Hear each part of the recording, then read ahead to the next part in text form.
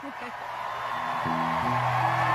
is my privilege to induct into the Rock and Roll Hall of Fame Belinda Carlisle, Jane Wiedlin, Charlotte Caffey, Gina Shock, and Kathy Valentine. Everyone give it up for the Go-Go's!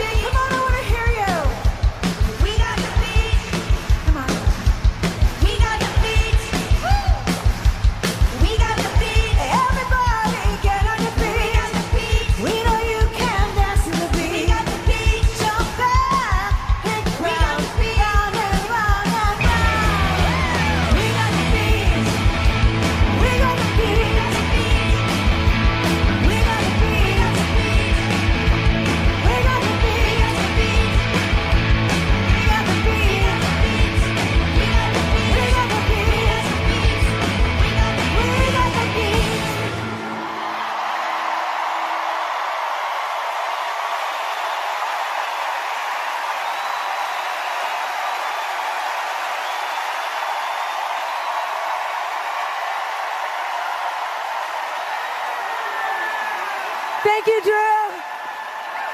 Woo! I'm Kathy Valentine, and I can speak for all the Go Go's when I say we are so happy and excited and proud to be inducted into the Rock and Roll Hall of Fame.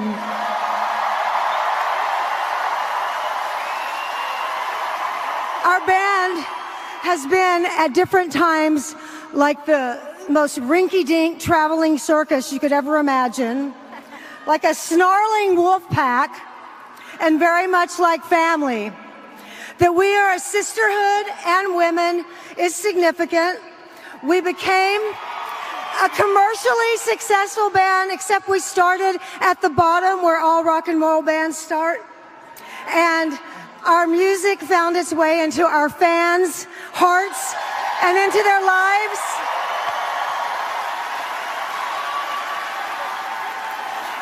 By honoring our historical contribution, the doors to this establishment have opened wider. And the Go Go's will be advocating for the inclusion of more women.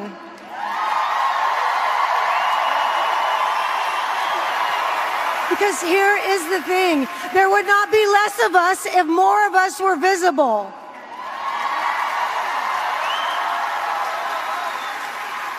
So, to all the little girls, the teenagers, the young ladies, any woman, any age out there in the world who is wanting and hoping and dreaming to be heard, hopefully loudly with guitars and drums and basses and your unique, wonderful voices. The Go Go's are here to say, Dream, baby, dream, and rock on!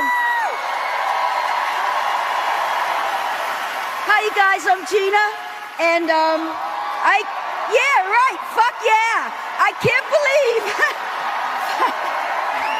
I want to thank all of our families, especially our moms and dads who supported us um, and allowed us to follow our dreams. They were there from the start. Our family of musicians who are out there, you're everywhere. You are part of us, we are part of you. And, and now I'm going to introduce our fabulous singer, Babe Carlisle. We have had so much love and guidance in our 43 years together. Ginger Canzoneri, our first manager, who was like our mom. Radford Cobb, who was always kind, sweet, and smart. Bruce Patron, somewhere up there. We love you. And also our manager, Mike Hayes. And of course, our cheerleader and manager, Art Cisneros. The next person is um, Charlotte Caffey, guitarist extraordinaire. Hello. Thank you. When we were a band unable to get a record deal, IRS Records took a chance on us. Miles Copeland, you are a mad genius. Our first producer, Richard Gottehrer, heard something in us that many other people didn't. And our beloved crew, Chris Arredondo and Travis Casper Bauer, thank you for taking care of us on stage and on the road. Love and thanks to you all. And now, last but not least, the iconic Jane Wiedlin.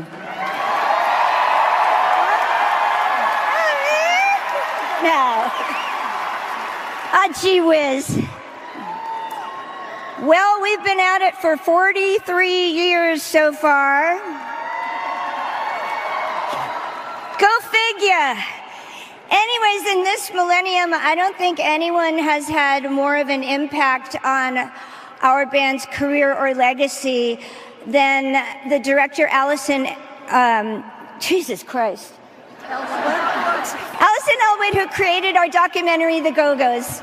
She really understood us and introduced the world to a band, you know, that really was kind of maybe fading away or whatever. And then she brought it all right back. And we're so grateful to her.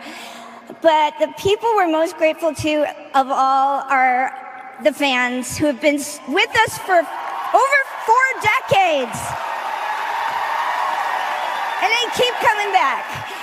We love you guys. We wouldn't be anything without you. And thank you so much for this honor. It's just unbelievable.